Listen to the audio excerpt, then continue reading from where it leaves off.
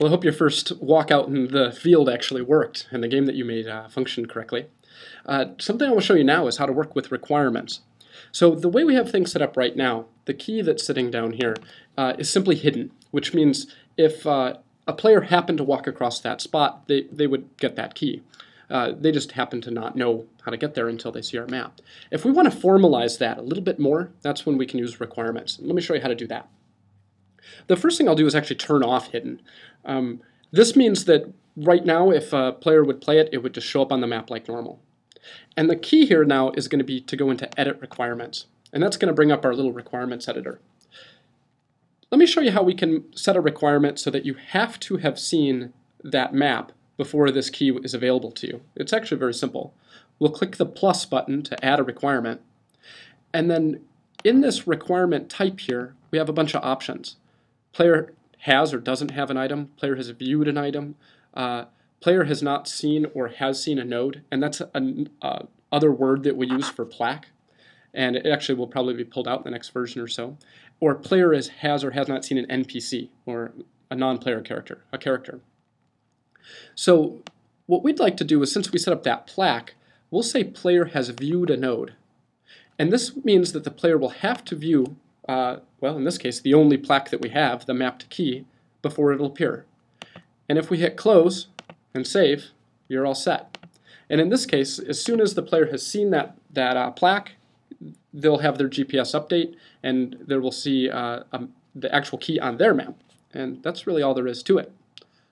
While we're here, we'll do one other interesting thing, and that is let's change this character around a little bit to make them want to have the student do a mobile data collection activity. So let's go to James and open him up. And instead of saying that he wants a key, let's say, go get me a photo of the fountain. Now that's interesting. At this point, the player could go out and use the, the camera app, and they could take a photo of the fountain.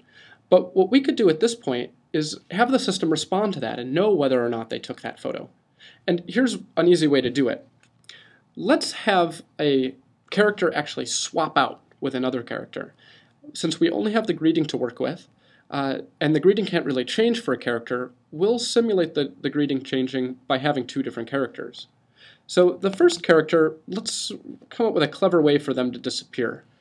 And one way you can do it is to set up requirements on that character so that the player has never seen the character before.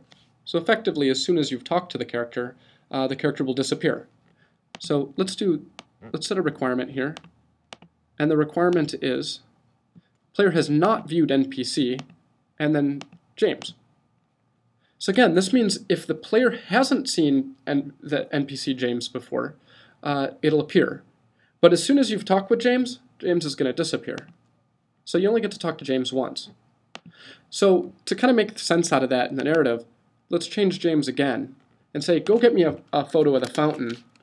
Until then, uh, I'm getting lunch. So the player will walk up to James, and as, as soon as they do, they'll get prompted with James saying, get me a photo, and then James will disappear, uh, apparently out to lunch. Now, let's create a second character now. And we'll also name it James, so it'll appear to be the same one. So character name, James. I can use my little hidden description here to go after a photo has been taken. And the greeting will be, great job. That's exactly the shot I needed. Let's save that, James. And then let's place the second James out on the map pretty close to where the first one was. So how do we get this one to appear? Well, there's a special requirement I didn't show you at the bottom. If we edit requirements, we can add a requirement that the player has taken uh, some a snapshot or some sort of media item. So this means if, if uh, this requirement is met, the player has either uploaded a photo, created an audio clip, or created a video. And more than just creating one, if we click on this area where we were specifying kind of the properties last time, this time it'll bring up a map when we've selected that, uh, that it has to do with player uploading media. And if we zoom in a little bit, we can pick the region where we want them to have to have collected this media. Here, satellite view will definitely come in handy again. So what we can do is place this little marker right on the fountain.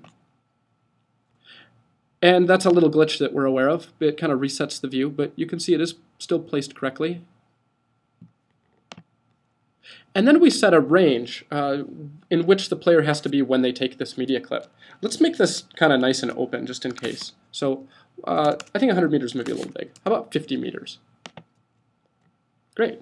So for this character to appear with its greeting, the player has to go out to the fountain and be within 50 meters of it and take a snapshot.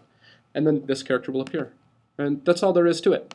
Go ahead and give this a shot yourself and, and uh, see how it goes. Thanks a lot.